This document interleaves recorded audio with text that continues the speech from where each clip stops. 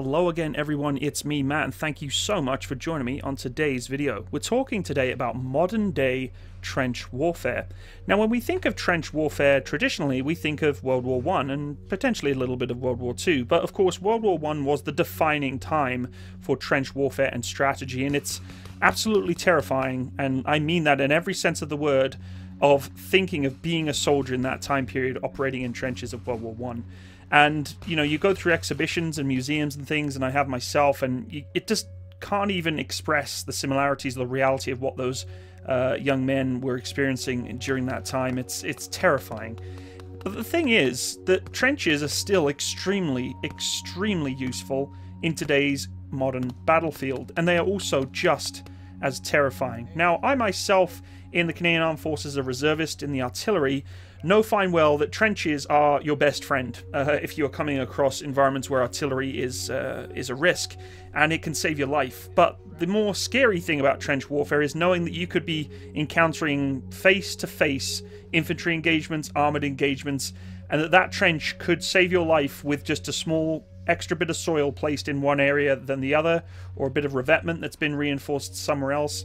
And today's video is really to reinforce that, pardon the pun, importance of how trenches really are not something that's going to go away and something that is literally a game changer to you as a soldier or as a serving member uh, on the battlefields of today. And now, if you are serving and you are in the military right now, serving in, of course, primarily the army, uh, you know that trenches are taken extremely seriously. This isn't something like just digging a hole and sitting in it. Trenches are actually quite complex in the way that they can be produced. And I came across a very fascinating video produced by the Canadian Armed Forces some time ago. Now, the footage is fairly old, uh, understandably, you know. This kind of video does have some moments where you're like, yeah, it's a little weird. But the tactics is solid, and, and the process and the format of trenches being produced is almost exactly the same. Now, I want to make something very clear that I'm not a subject matter expert of trenches. Uh, I have uh, dug a fair amount of trenches in my life, and I can safely say they're not the most enjoyable thing to do. Making a trench is bloody hard work. I mean that in every sense of the word. Digging them, reinforcing them, defending them, fighting in them, living in them it's not fun. You're living in a hole, literally, uh, and producing them is a lot of manual labor and hard work. And you're going to see in this video that I'm going to go through with you some of the features and some of the principles that you must adhere to to make an effective battle trench. If you don't, you could literally lose your life. And I'm every sense of the word meaning this that if you incorrectly place a bit of wire or a bit of you know cabling or a bit of strut or revetment or soil in the wrong place you could die. You could be buried alive in these things, or even worse, you know, attacked, shot at, and, and killed. Scary stuff. And that's why I really do feel like trench warfare is here to stay. And, and maybe not in the more sort of non traditional sense, but if, you know, push come to shove and we're in traditional head on uh, conventional warfare, trenches will be a part of your day to day routine. So you better get used to it. So let's take a look at this video and uh, go through it and learn a little bit more about the effective battle trench with the Canadian Armed Forces of the past.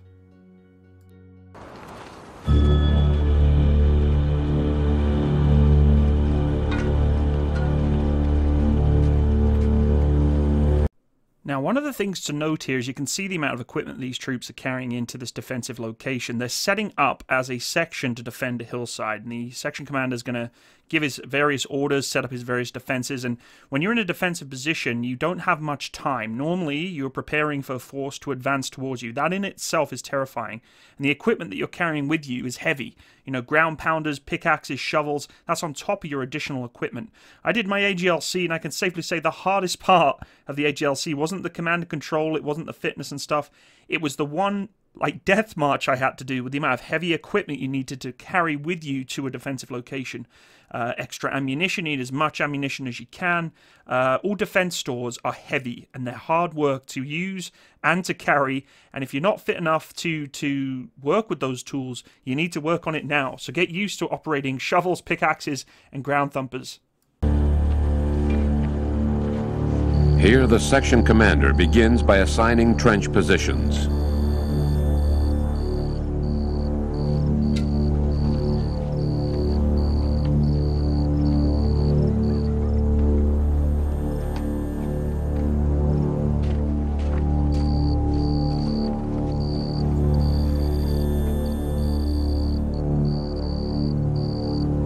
He then validates the distance between the trenches. Now, I'm certainly not going to preach the choir here and make out like I'm some infantryman who digs trenches every single day and that's my bread and butter, but I do know that being involved with a number of defensive positions throughout my training and time, that this is really important. Positioning of where your trenches are is critical either for arcs of fire, communication, defensive capability, uh, or spread from artillery attack, right? If you have indirect fire coming to your position and, and spaced in a very weird configuration, either too tight or too far apart, you're going to have problems. You need to be able to communicate with one another as trenches. If you have comms, then good. If you don't, then sometimes it's down to just shouting across from the other trench. And, you know, spacing and positioning of the trenches is absolutely vital. And that's why, you know, the section commander has to review this. And it can take time. Sometimes you'll be halfway through digging your trench, and, you know, the section commander or the platoon sergeant's going to be like, yeah, change of plan, this didn't work out, we need to move you. That can be frustrating. Don't let it beat you down. You know, at the end of the day, it's there to protect you. If you're going into a real war situation, you don't want to be complaining about having to move your trench 20 feet to the left or to the right. Uh, at the end of the day, they're doing it for a specific reason. People make mistakes, and yes, it's tiring digging half a trench and having to start again, but it is what it is. Next, he confirms the arcs of fire.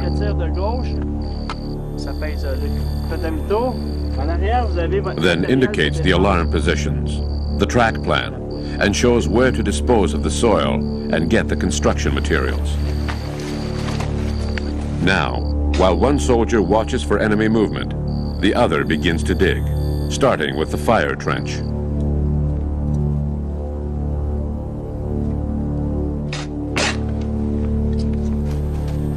So, a point to add here. Uh, it looks like the terrain they're in is fairly mossy or spongy and little sandy, but sometimes you'll be asked to dig trenches in environments where the ground is absolutely hard packed. Uh, clay, nasty, thick clay. If it's really cold out, you're going to get maybe some frost on there too. It makes it a lot harder. Don't fight it take turns, work as a team, as buddies. If you need to, you know, have a good water break here and there.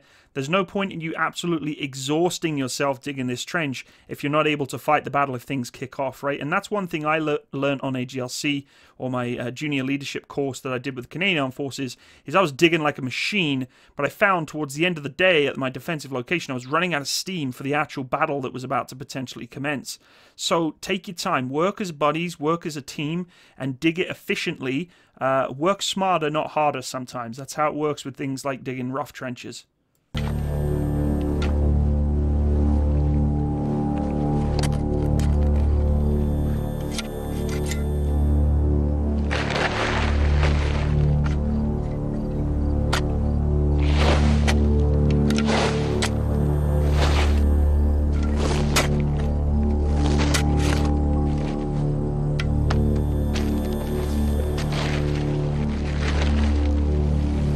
It's important to eliminate any trace of the digging that could alert the enemy to their position. So this kind of reinforces the point I made at the beginning of this video. The trenches are not just a simplistic hole in the ground. There's some technicality behind it. The way in which you shape them, the way in which you dig them into a certain uh, depth or a certain width or a certain height, and the way in which you dispose of soil and camouflage around it. If you just dug a hole and spread soil everywhere, that's exactly what you're just doing. You're digging a hole. There's a difference between digging a trench and digging a hole because trenches have tactical capability, whether it be, you know, hiding that topsoil is important. If you have a patrol that's coming through your area and that triple outnumber you as a force, uh, there may be instances where you may not actually want to engage them. If you're camouflaged and have set your trenches up correctly, you may actually be able to let them go by you, uh, report them so that you can bring in a fire mission later on. It's really critical that you get rid of that topsoil and try and keep the area that you're disposing soil of clean and tidy so it looks natural. Because if you just create this messy, dug in fire position, it's just going to be A, easily spottable from the air, and B, easily spottable from optics from vehicles or by foot if the ground forces are coming to your location. Of course, as a defensive point, you're basically the standoff. You shouldn't even be letting troops go through your lines, and normally you wouldn't. But in the sense of making sure you're protecting yourself as much as possible, you'd be surprised at how much, you know, sand from above can be seen in disturbing from a trench position being dug. So you have to dispose of it carefully and as neatly as possible. The trench, which measures 2 meters long by 0.75 meters wide, is now deep enough to provide basic protection to a soldier lying flat on his stomach. So there you have it. This is stage one as a fire trench for your buddy and you to individually get into. It's short, slim, and allows you to just get minimum protection. Before going any further, the fields of fire must be cleared.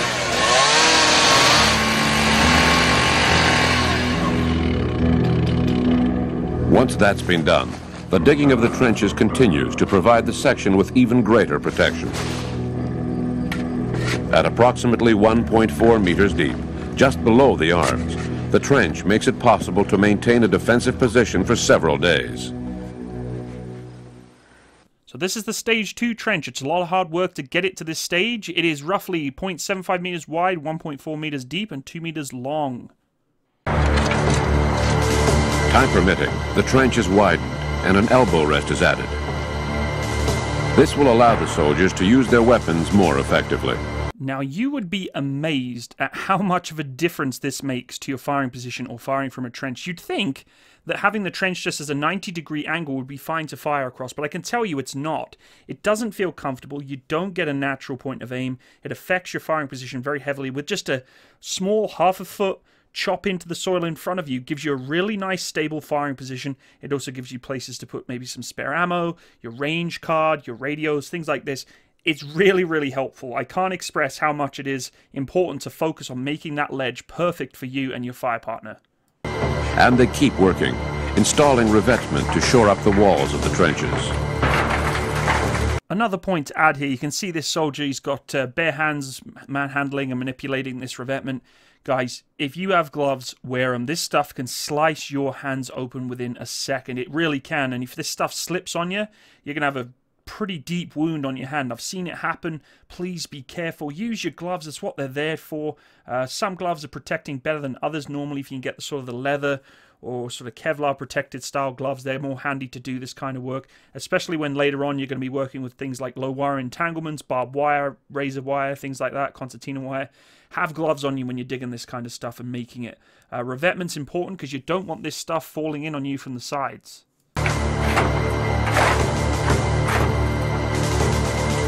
Now, my engineer buddies, Chimo, uh, they are the pros at this. They build trenches as part of their, you know, it's part of their bread and butter, same as the infantry. But the engineers, Chimo, really do have the skills to set up these trenches very, very effectively. I got some really cool uh, tips and tricks from the engineers. So if you have those subject matter expertise people on courses with you, or around you, or in your battalion, your brigade, company, regiment, whatever it may be, ask them questions. Use that experience because all that experience and those little tips and tricks for things like revetment, if you're bending it in the right way and slotting it in the right place, it makes your life so much easier. I can't express that enough.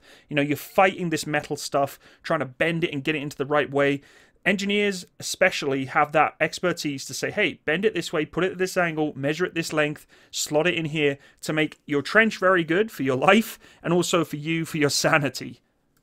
At this point then we call it a phase 3 trench. You've put your revetment in, you put in your stakes, and you've given yourself that ledge to fire from. At this point, soldiers are generally assigned to add complementary protection, installing barbed wire, so barbed wire and concertina wire are your friend. Although when you're setting it up, you don't feel like it is as much. It's very, very useful for your defensive position. It's a hindrance to the enemy. It really does slow them down. It's a pain in the ass to try and work through, but it's also a pain in the ass to set up. It really is. As you can see, these troops have got those leather gloves on. You're going to need them. One tip I will definitely add to this is if you have things like waterproofs on or clothing that could get ripped or torn by this stuff when you're setting it up very easily, get it off. Okay, wear something that's a lot less worryable if it gets torn or ripped, because you will at some point get this stuff snagged on something, and your waterproofs is not something you want to have holes in that's going to get you wet and soaking later on. Same thing for your equipment. Secure it, tied away. Try not to let this stuff get tangled onto you when you're trying to deploy it, because it's just a nightmare. And again, your energy will be low from digging trenches. This will be additional tasks that the section will be given concurrently sometimes to when you're digging the trench. So it's almost a bit of a reprieve from having to dig the trench, but it's just as much much difficulty and, and effort and strenuous work than it is digging. So just be careful when you're setting up the wire.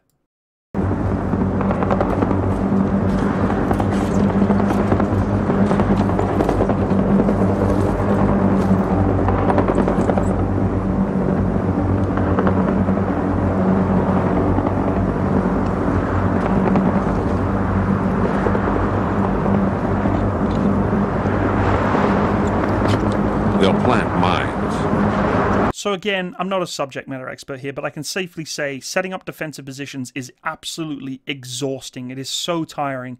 And when you're the potential person who's going to be setting up explosives at the defensive positions, you really need to take your time and, and focus. Uh, try and, you know, set yourself up if you're going to set this thing up to the most energetic or the most, uh, you know, I guess, refreshed soldier that's on the line because setting this stuff up can kill you or those around you if it's not done properly. One little mistake and boom, it's all over. So you don't want the most sleep deprived, you know, physically exhausted troop setting up claymores on your perimeters or at your defensive location if they're just not with it. Something just to consider for those section commanders, 2ICs, when you're sort of doing the more intricate deadly stuff that could occur, be cautious of your, your manpower and look at the resources you have and say, does it make sense me sending someone out there to go put the claymores up and landmines or whatever else? If they're absolutely pooped, uh, they're going to have a really tough time doing that. So, you know, focus on that. It's important. And that doesn't just apply for setting up explosives, resources for anything, right? Setting up extra defenses, try and rotate those people through so they're becoming fresh and fresh and fresh and getting, you know, the things they need to do. We still need to eat, drink, uh, sleep in the routine. Defensive positions take a long time to set up, uh, even the smaller ones. So just something to consider.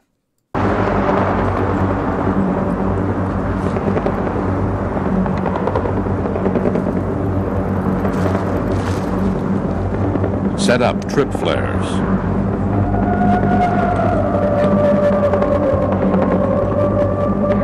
Now, this may sound a little cliche and weak of me to say, but setting up a defensive location is horrifyingly scary.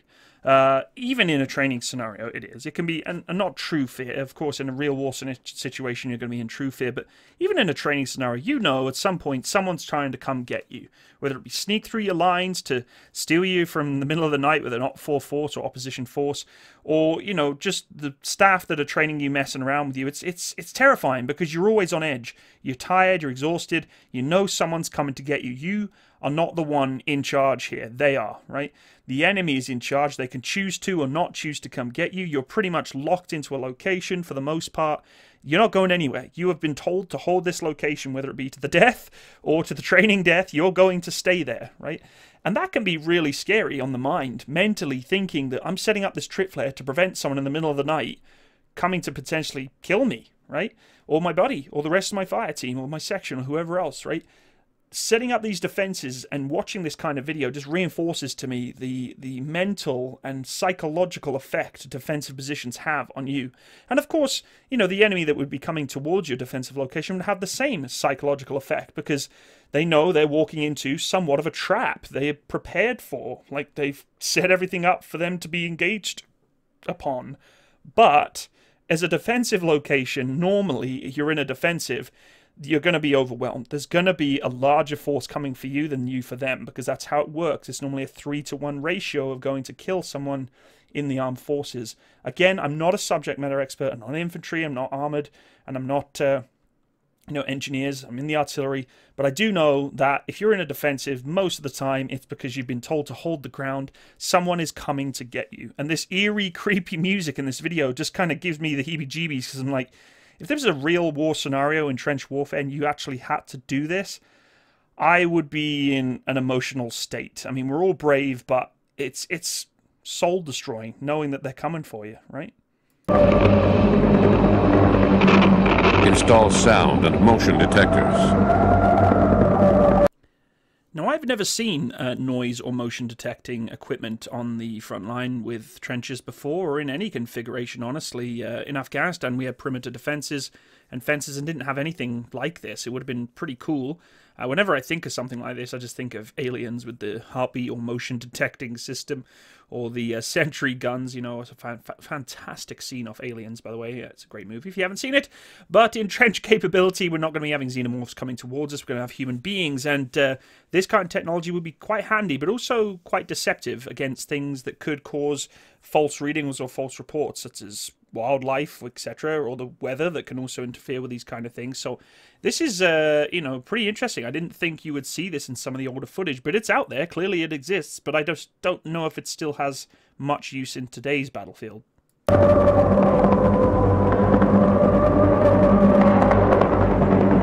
Knowing that they have time, the soldiers continue to work on their trenches to ensure maximum protection from enemy attack.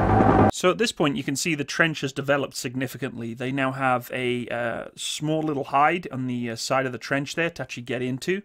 Uh, they've set up their ledge, they've camouflaged the area. Most of the topsoil has been removed or dispersed elsewhere. They have a camnet that they can pull over themselves for aerial warning. You know, if there's someone flying over, they can pull those camnets over and make it even more difficult to uh, to be seen. Because of course, there's no way of getting around the actual trench itself for the most part being still that sandy color. So that camnet can just be quickly whipped over the top. They get into the trench if there's an aerial attack or aerial uh, reconnaissance occurring. But you can see now just, you know, how much effort goes into making this. And you think, man, it's just digging a trench, filling a hole with some sandbags and some steel and you know, moving some soil away. But if you've just done on a long road march or whatever else, and you've just been in a section attack, and then you're asking to be set up defensive positions, it's hard work. But you'll be very grateful once you have it, uh, because it's a place that you can eat and rest and and you know, honestly, you get to know your battle partner or your fire team partner very well in these trenches, and you have to because you're relying upon each other to save each other's life if things really do go sour. At this stage, they widen the fire trench to 2.4 meters at one end increasing the depth to 2 meters. They also add the revetment and 0.5 meters of packed earth. This provides optimal overhead protection from artillery fire, mortars, and other projectiles exploding in the trees or overhead. Now, when you look at this diagram or the cutaway of the trench, you see that there's not a huge amount of topsoil or sandbags covering uh, the troops in this little uh, compartment here. And if you were to take a direct artillery strike to the top, you know, around actually imploding this area, of course, the trench, you're not going to be able to stop that, okay? The, the blast from a HE, even a 105, or even some smaller mortars, uh, is going to cause major issues. But you'd be surprised at how much uh, that soil and those sandbags can withstand for the blast radius of nearby explosions from artillery rounds or projectiles. And, you know, when it's raining, it's nice to have that cover if necessary for one of your troops not to get absolutely soaked. You can do rotations of sentry. Uh, normally, if you're in a position, you should be rotating so you can rest and, and get some sleep. But as many guns downrange is really the kind of key here. You want to be monitoring the front. But it's nice to just have a little recluse. You know, you can go in there. It's not exactly comfortable. You're certainly not going to be standing up in there or laying down in it. It's going to be sort of sitting or squatting, kneeling, and just taking a little breather. You know, get some food down your neck. Uh, you know, have some water, and then come back out into the fire pit and, and do what you need to do. But all that revetment, all that uh, staking, all that you know manipulation of that revetment takes time. It's really hard work. All those sandbags have got to get filled, so you can see the more and more equipment that you've got to you know have with you. Of course, normally the engineers drop off all the revetment. You're not going to be carrying 30 sheets of or 40 sheets of revetment steel with you, stainless steel. But these are the kind of things uh, you need to consider, right? Is this the stuff that you're going to be needing to bring onto the field. At this point, though, your trench should be pretty much set up for the stage 4 trench. This is what it looks like, and this is where it needs to be set up in the depths and the lengths of what you want it to be. The addition of this easy-to-remove overhead cover will further shield them from the heat of nuclear weapons and inclement weather. It will also help conceal the trench from the air.